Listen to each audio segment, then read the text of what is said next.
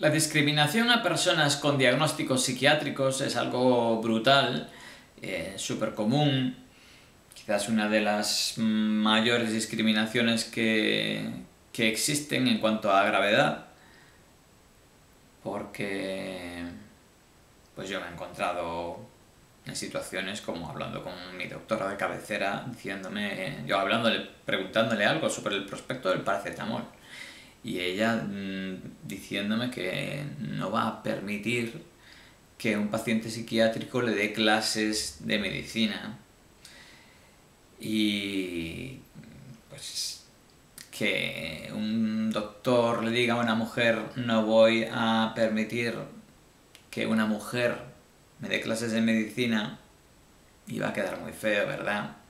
E igual se montaba una gorda, ¿verdad?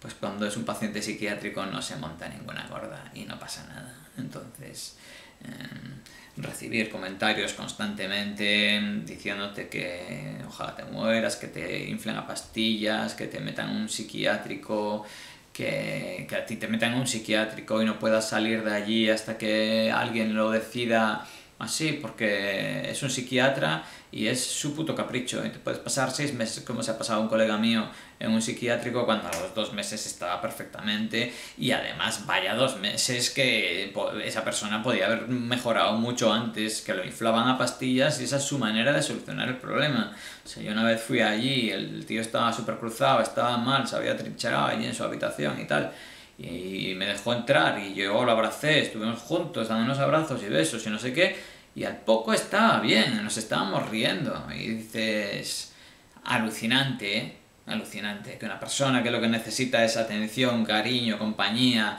eh, una, una situación familiar para él, que esté encerrado en un sitio ahí y que la manera de, de, de controlarlo sea inflando las drogas hasta el punto en que casi no puede ni hablar, o, que, o sin casi, que yo a veces me pasaba allí una hora con él y entendía un 10% de lo que me decía, porque bla, bla, bla, bla, bla, em, es alucinante, es alucinante. Y que te... y que te... Em, que, no te, que te encierren sin juicio, ¿eh? Estás ahí encerrado sin juicio. Eso no le pasa ni a mujeres, ni a homosexuales, ni... bueno, a inmigrantes sí que les pasa. A inmigrantes sí que les pasa. Eh, pero bueno, no nos vamos aquí a poner a competir.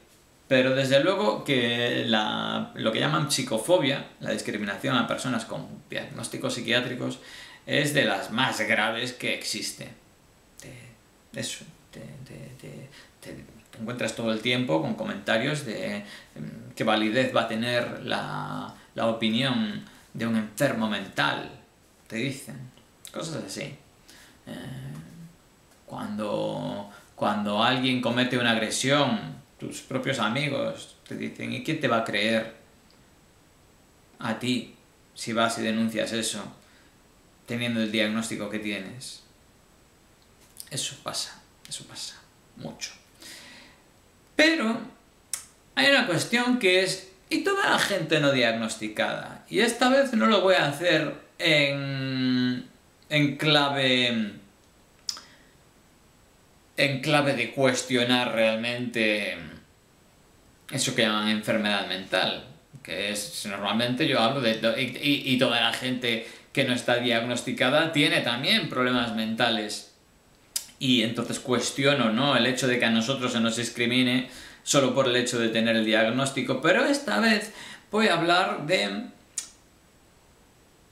¿Qué pasa con toda esa pobre gente que no está diagnosticada? Porque muchas veces...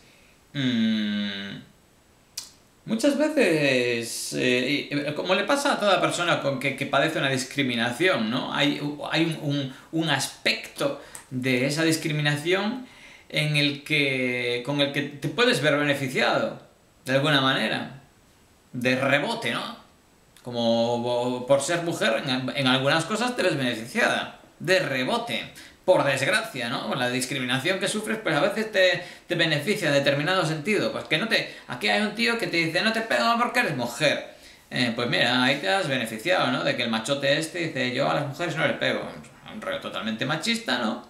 Pero. Mm, pero te has visto beneficiada y haces autostop y es más fácil que te paren. Eh, pues, también te puede pasar de todo, ¿no? Pero vamos, en ese sentido, pues mira, te ves beneficiada. Igual te para una tía y te vas más tranquila con ella y te para un tío y le dices, no, es que yo voy a Cuenca y tú a Jaén, ¿sabes? Pero... Mm, pero también a veces se excusa tu comportamiento porque, ah, es que tiene determinado problema mental. Sin embargo, en el caso de las personas que no están diagnosticadas, veces, a veces no, muy, muy frecuentemente tienen problemas mentales. Sin embargo, no se da esa, eh, esa comprensión hacia ellos de, claro, es que tiene este problema mental, le ha pasado esto, por eso ha reaccionado así. Pero como no está diagnosticada, no la contemplamos como una persona que tiene determinado problema y no explicamos su reacción eh, basándonos en que, claro, tiene determinado problema y entonces pues es entendible que haya tenido esta reacción. Y esa persona, por el hecho de no tener un diagnóstico, por el hecho de no reconocer ella misma que tiene determinado problema y por el hecho de que el resto no, verá, no, no veamos socialmente que tiene determinado problema, pues actuamos con incomprensión hacia esa persona. Y, esa persona puede estar pasándolo muy mal y pasando por una situación que la ha hecho reaccionar de determinada manera que juzgamos, con esa manía que tenemos de juzgar, juzgamos para condenar y criticar y culpar a esa persona de haber hecho determinada cosa sin tener en cuenta pues sus circunstancias y que igual le pasaba determinado, pues eso, determinada cosa, igual tenía determinado problema que le ha llevado a eso. Entonces, eh, también desde la gente que tenemos diagnósticos psiquiátricos, tampoco tenemos que caer en el victimismo de, decir, nosotros los que tenemos este, estos problemas psiquiátricos, eh, que sufrimos tanto la discriminación y tal y cual, que es totalmente cierto, pero sería caer en el victimismo el no entender que eso le pasa a mucha gente sin diagnóstico psiquiátrico, que tienen problemas mentales muy serios, sin diagnosticar, y que mm, no los comprenden, se les juzga. Igual que se nos juzga a los que tenemos diagnósticos psiquiátricos también, ¿eh? Pero que muchas veces, en algunas ocasiones al menos, se nos exculpa, digamos, de, de cometer determinados actos. Y me parece muy bien. Me parece muy bien porque la culpa y el acusar y el buscar al culpable a mí no me parece una forma muy apropiada de explicar los comportamientos de las personas a mí me interesa entender, no juzgar. A mí de, qué me sirve y, a quién ayuda y de qué sirve el declarar a alguien culpable y, ponerle la etiqueta de culpable. A mí lo que me sirve es entender por qué ha hecho eso. Tanto si quiero evitar que lo vuelva a hacer, como si quiero hacerme una idea de qué ha pasado aquí, simplemente. El, el no entender por qué lo ha hecho me impide entender Mm, la situación. Entonces tampoco caigamos, eh, quienes tenemos diagnósticos psiquiátricos y otra gente, eh, nosotros en el victimismo y otra gente en el, en el paternalismo al que nos someten constantemente también, que pasa un poco como con las mujeres, ¿no? que por un lado está el paternalismo y por otro el, la discriminación y la agresión, ¿no? Que, es un poco, parece contradictorio, pero no, va de la mano muchas veces. Em, es como, como, sí, como algo intrínseco a, la discriminación o al, al menos a determinado tipo de discriminaciones.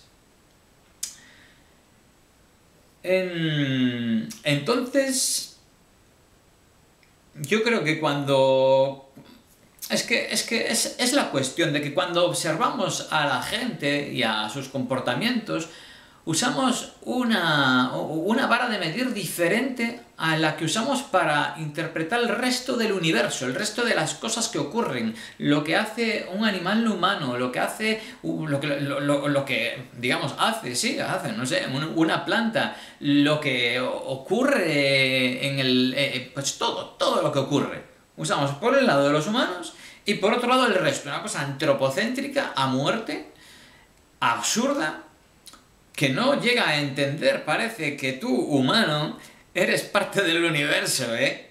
Y que tú, eh, tu, tu, genoma y tu, tu, tu, genotipo, tu fenotipo, lo que tú haces es parte del universo. Y el, el, la evolución física y química que se da en el universo, que en algún caso, como en el caso de la Tierra, esa evolución física y química da pie a la existencia de la vida y a la evolución biológica, que no es más que una evolución física y química, eso ha llevado a la existencia de un organismo que eres tú, con un genoma que. un genoma determinado, que condiciona su comportamiento, que ese genoma en interacción con su entorno también se ve eh, alterado por medio de la, de la epigenética, en algunos organismos por medio de la transmisión eh, genética horizontal también, pero también por medio de la modulación neuronal, de la neuroplasticidad, del aprendizaje, eh, de, del, sí, de cómo, no, cómo nuestras experiencias condicionan nuestro nuestro comportamiento, si vemos eso así, decimos, ¿qué sentido tiene juzgar a nadie? Este organismo y sus comportamientos son lo mismo que este volcán y sus comportamientos. En el volcán se han dado una serie de circunstancias en el universo que han llevado a la existencia de ese volcán y a que haya ahí una no sé qué y a que ahora entre en erupción. Es un evento que ha ocurrido en el universo. Igual que la existencia de este organismo que ha tenido determinadas experiencias, ha vivido en determinadas circunstancias, se encuentra ahora mismo en determinada circunstancia, ocurre determinada cosa, reacciona de determinada manera. Es algo que ocurre igual que la erupción del volcán y ponernos a juzgar al volcán es absurdo y ponernos a juzgar a esta persona es absurdo. Algo llevará a esa persona a hacer eso. Lo que ha vivido en su vida, sus circunstancias, han llevado a esta persona a hacer eso. Entonces, culparla es absurdo. Entenderla es más complicado, es más difícil. Tiramos a lo fácil, que es juzgar y decir, es mala, es un cabrón. Ya está, venga, eh, es más complicado que eso. Y la gente, pues, tira o tiramos a lo sencillo, ¿no? A lo más fácil de comprender. Pero, bueno, de comprender. Lo más fácil de mm, lo, que no es más fácil de encajar de alguna manera en la cabeza, porque comprender realmente no es comprender. Comprender sería realmente esto de entender que esta persona reacciona así, pues igual que el volcán reacciona así, igual que la flor crece y pasa eso. Eso sería comprender en realidad. Entonces, pero eso es más complicado. Es más complicado eso que decir es malo. ¡Hala! Ya está. Es un cabrón. Em, entonces eso, que estamos siendo muchas veces bastante insensibles, poco comprensivos con las personas que no tienen diagnósticos psiquiátricos y que si fueran un psiquiatra saldrían de allí con un diagnóstico porque esa gente es a lo que se dedica y muy poca gente va al psiquiatra y sale de allí sin ningún diagnóstico y sin una caja de... bueno, sin una receta con, medicamentos que tiene que ir a coger la farmacia, que eso ya es otro tema, ¿no? Pero... Mm, pero eso, que, que tampoco caigamos... No caigamos en el victimismo y no caigamos en la falta de empatía por aquellos que no estigmatizamos como enfermos mentales, porque eh, aunque no los estigmaticemos y se libren de esa discriminación y de ese estigma, mm, también se exponen a unos juicios poco justos, digamos, ¿no? Si es que un juicio tiene el más mínimo sentido, pero unos juicios todavía menos justos que no contemplan los problemas que puede tener esa persona y que le llevan a actuar de esa manera.